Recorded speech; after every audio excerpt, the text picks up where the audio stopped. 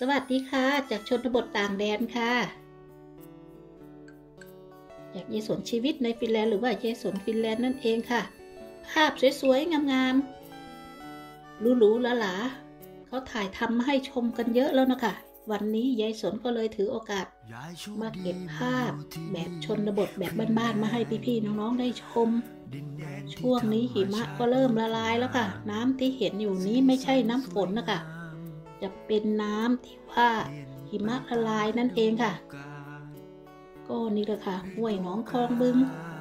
มีอยู่เหมือนกันค่ะ ทุกประเทศค่ะ พวกเราก็มาเดินออกกำลังกายกันก็เลยถือโอกาสเก็บภาพมาฝากพี่ๆน้องๆ อันนี้ก็จะเป็นถนน คนเดินหรือว่าจักรยานค่ะ อีกฝั่งทางซ้ายมือนั้นเป็น ถนนทางรถนั่นเองค่ะอันนี้เขาก็จะทำไว้ให้พวกเราออกกำลังกายออกเดินหรือว่าชาวบ้านจะเดินไปตลาดนั่นเองค่ะ อยู่ที่นี่เนาะค่ะ ระยะทาง 3 กิโลเมตร บางคนบางท่านเข้าไปตลาดเขาก็เดินเอาค่ะเขาไม่ขึ้นรถ ก็ถือว่าเป็นการออกกำลังกายไปในตัวนั่นเองค่ะ แต่สำหรับเด็กนะคะ ไปโรงเรียนค่ะตื่นแต่เช้าจะเดินถนนเส้นนี้ละค่ะ กว่าจะถึงโรงเรียนก็ประมาณ 4 กิโลเมตร หรือ 5 กิโลเมตรนะคะเขาก็จะเดินไปค่ะ อันนี้พวกเราก็เดินมาเรื่อยๆค่ะ คุยกันมาเรื่อยๆ กับเพื่อนบ้านก็ถือโอกาสเก็บภาพบรรยากาศมาฝากพี่ๆน้องๆให้ได้ชม อย่างไรยศนก็ฝากกดไลค์กดแชร์กดติดตามด้วยนะคะ ช่วงตรงนี้จะเป็นทุ่งหญ้าค่ะทำไมถึงบอกทุ่งหญ้าเห็นไหมคะพอหิมะละลาย อีกไม่กี่อาทิตย์ข้างหน้าค่ะเขาก็จะ เขียวขจีขึ้นมาทันทีค่ะ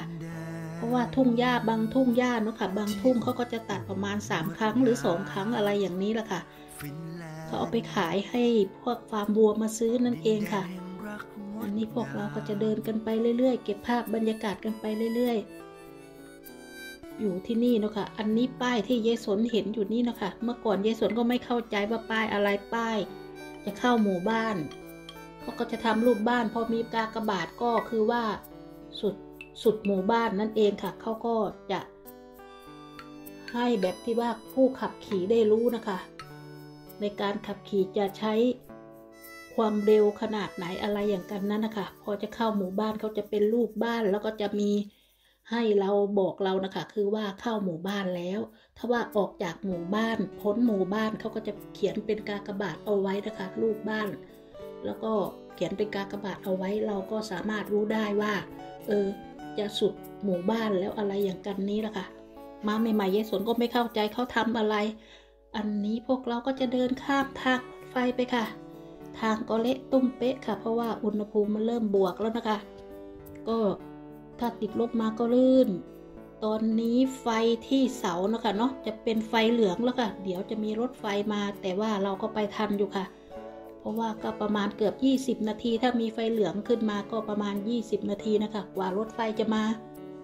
เพราะว่าเราเดินข้ามไปข้ามมาบ่อยเราก็เลยรู้ในจุดนี้นะคะ อันนี้แหละคะอยู่ในชนบท บ้านหลังสีเขียวนั่นก็เป็นของยายสน ขวามือก็เป็นของเพื่อนบ้าน หลังสี หลังคาสีแดงนี่เองค่ะ